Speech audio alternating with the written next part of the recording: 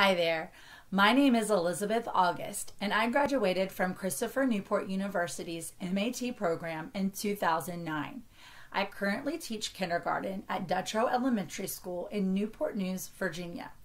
Today's lesson is focused on kindergarten and first grade reading, but hopefully it can be enjoyed by students of many ages. First, we're going to start off with some phonological awareness activities. This is basically the understanding of sounds and how they work in words. One part of phonological awareness is rhyming. So we'll practice that first. Remember, when you're rhyming, you're matching words that have the same ending, okay? So, first one. Which word rhymes with sun? Log or run? Sun log or sun run? Sun rhymes with run. They both end with un. Which word rhymes with nap? Tap or sit? Nap tap or nap sit? Nap rhymes with tap. They both end with ap. Which word rhymes with boy? Toy or cat? Boy toy, or boy cat. Boy rhymes with toy. They both end with oy. Which word rhymes with fish? Hot or wish? Fish hot or fish wish? Fish rhymes with wish because they both end with ish. Now we're going to count how many syllables are in words. We can count these word parts by putting part of our hand under our chin and counting the drops that our chin makes. Some people count syllables by clapping, but I like to put two fingers under the end of my chin so that I can actually feel the chin drops when I'm counting syllables. So let's do a couple of these together. First word is island. Ready? So put your fingers at the end island. I felt two drops. Island, island. Okay. Next one, adventure. Adventure. I felt three drops. Okay. Next word, sand. Sand. I felt one chin drop, so one syllable. Lobster. Lobster. I felt two drops, so two syllables. It's really important to make sure that you're saying the word normally, but it's okay to say it a little slower so that you can really feel it.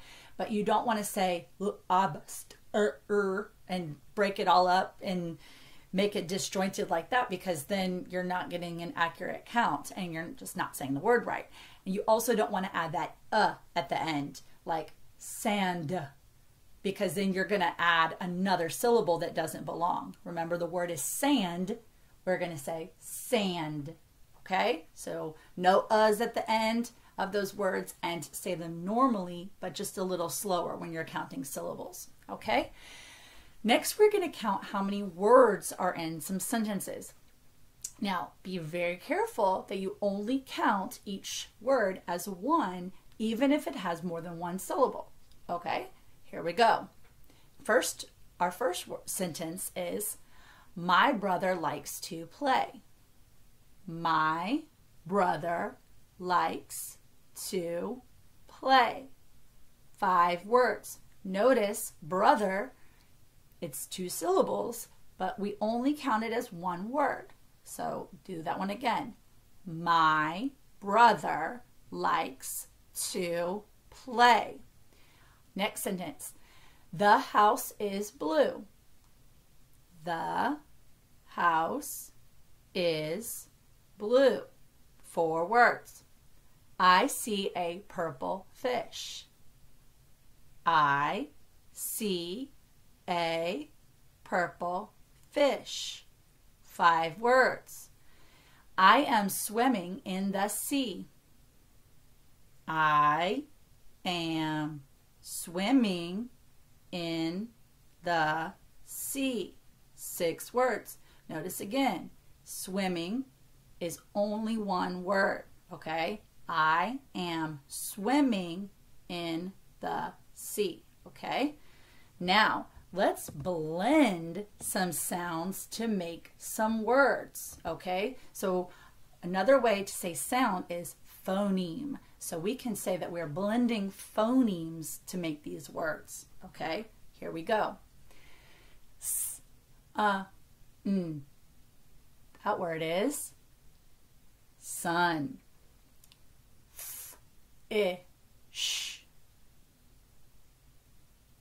Fish. K, r, a, b. Crab. W, I, m. Swim. Good job. You can also break up words and do it the other way and then count the sounds. For example, if you were taking sun and you wanted to count the sounds, you could just slow it down to each sound and say s, uh, n, and you would be segmenting the word, breaking it up into sounds, and also counting those sounds. So that's another activity that you can practice. So those are just a few different exercises that you can use to practice some important reading skills. And you can do the same type of practice with other sounds and other words. Okay. Now I want to read y'all one of my favorite books. This book is set on a tiny island in the beautiful country of Belize, which is in Central America. It sits on the western part of the Caribbean Sea. So I'm up here in Virginia. Here's Mexico. And then beneath that is little country of Belize. It's a small country, but it is beautiful. The publisher of this book graciously gave me permission to read the story to you all. The book is called Caye Boy Barefoot Adventures of an Island Child. It's written by Jessica Redsick White and it's illustrated by Andrew Young. It was published by Little Blue House Publishing in Caye Caulker, Belize. Now you might wonder, what is a key? A key is a small, low, sandy island that's on a coral reef. So, not all islands are keys, okay? After we read the story, we're going to do a simple retelling by recalling the characters, the setting, and three things that happened in the story. Okay, so we're going to keep it pretty simple with our retelling. One thing that I love about the story that I hope that you pay attention to is how the author uses so many descriptive words so that even if you couldn't see the pictures, you can see what's happening in your mind. Okay, so enjoy. Caye Boy. Barefoot Adventures of an Island Child. I'm Guilford. I live in a little blue house on a little island in the middle of a great big sea. My house sits high up on stilts to catch a breeze. It has a big porch with hammocks and lots of space to play and chase my little brother around. My island is a little swoop of sand with fish and boats all around it. It is full of bright houses and pretty flowers and about a hundred coconut trees. I can walk and walk and walk and always end up back at my little blue house. As soon as the sun wakes up, Alvis and I run into Mama and Pa's room. The sun is up. We're awake, we shout. Mama says we are worse than a couple of roosters. Then Alvis and I romp and stomp around the porch until Mama finally says we can go outside. Try not to wake up the whole island, calls Mama, and stay in the yard. A yard means not in the middle of the street. So we stay in our yard until we get to the beach, which isn't our yard, but it's not in the middle of the street either. So it counts. We are good listeners. We have about a hundred hermit crab races, which takes forever because hermit crabs aren't straight walkers. I couldn't find my best hermit crab today. His name is Hermes. He is the fastest crab on my island. He wears a white plastic lid instead of a shell. Mama says that is unusual. Alvis finds two empty bottles. He is a good finder. So we wait and wait and wait until Miss Juanita finally opens the store. We trade the bottles for two shillings, and now we are rich. Shillings are basically what we would think of as like a quarter. Then we trade our shillings for two bags of chips, and that is even better. Alvis and I raced to catch up with our friend Dario on his way to school. His pa always gives us a mango from his fruit cart. Mama says we have to eat lots of good for us food to grow into big boys. So we tell her about the mangoes, but not about the chips. We like to help out at our cousin's snorkel shop. Alvis shows everyone how to put on flippers. Tourists smell like sunscreen and always ask us about a hundred questions. Tourists are people who go and visit a different place. Okay? So these tourists are visiting his island from somewhere else. I help Big George carry the long pole for his manatee tour because it is so heavy. I am a good helper. I tell the tourists about all the fish they will see. My best fish is the spotted drum, and the angelfish, and the queen triggerfish, and about a hundred more kinds. Snorkeling is the very best thing in the whole world. We see Pa's boat come in, so we ride to the dock to see what he caught. Pa used to be a key boy like me, but then he grew big, and now he's a fisherman. Pa gives us some fish scraps to feed the frigates. They swoop down and don't quite touch us, but almost.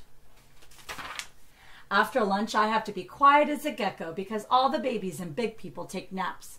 The sun is hot, hot, hot, so I keep under houses mostly. I practice crawling under Mr. Rodolfo's hammock without making a peep. Pick some cocoa plums. See how close I can get to an iguana. Lay under our water vat and spy on the chickens, and win my best marble back from Julio.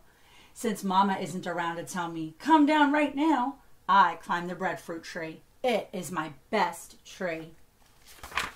I can see my whole island from the top.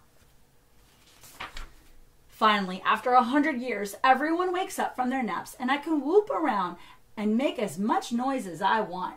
All the big kids come home from school, so we race and chase each other until we are so tired we crash down and make sand angels.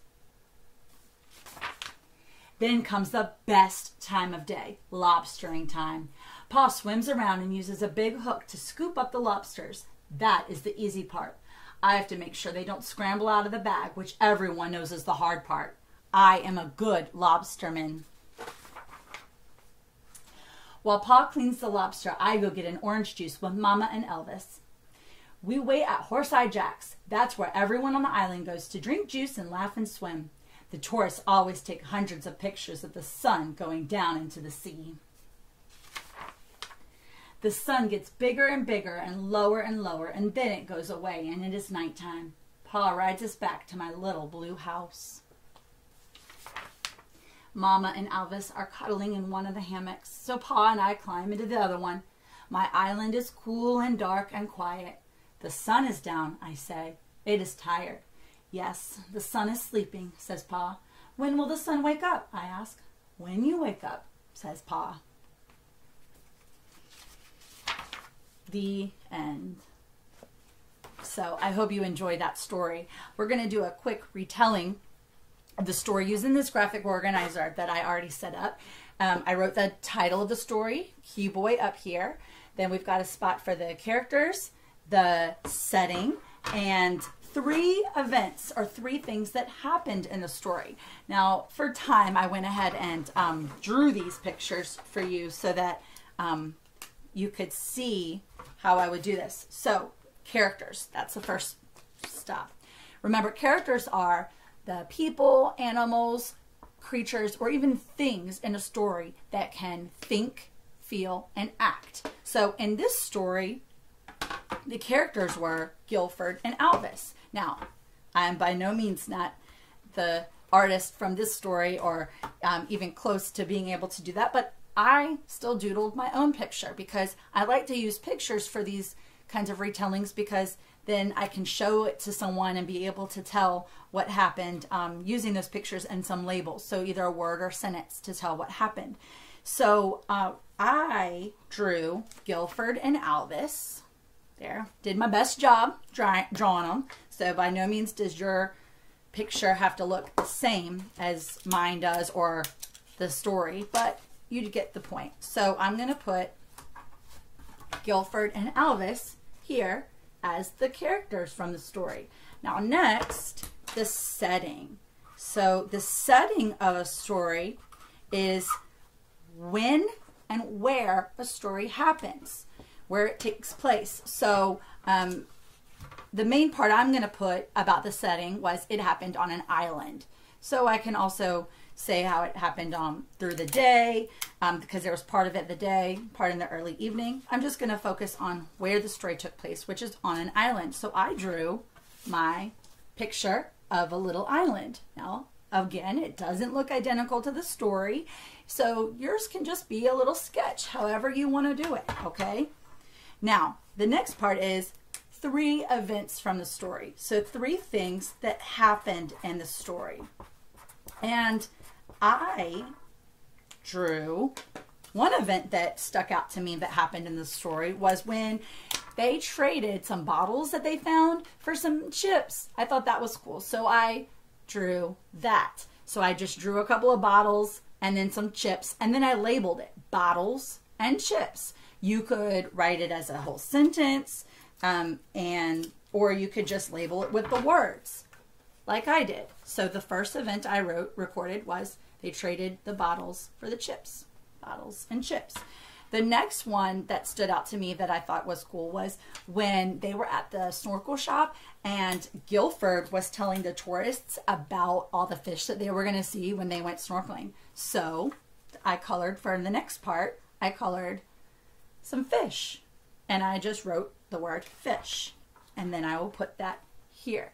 Now, normally I would just draw directly onto the graphic organizer. But again, for the sake of time, I went out and pre-drew and colored so that I could just put them there for you, okay? So you can see one event, a second event, and then now a third event from that story. I really loved when uh, Guilford climbed up that breadfruit tree because he could see the whole island, and I just thought that that was beautiful. So the next part that I drew was the tree.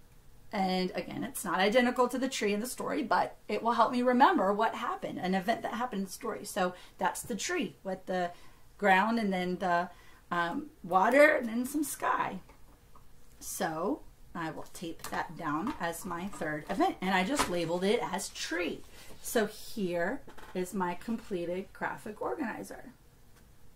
So that uh, will help me to remember who the characters were, the setting, and three events that happened in the story. Okay, so that is now.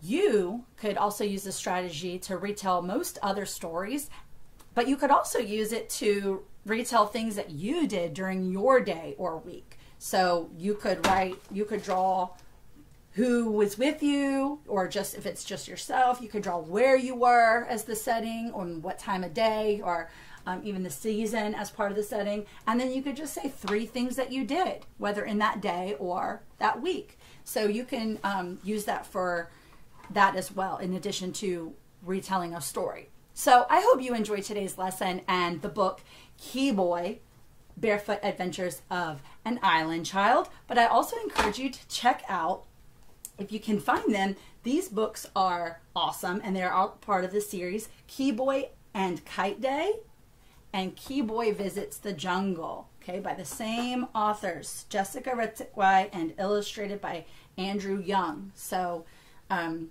hopefully you enjoyed that today, and thank you for tuning in, and have a great day.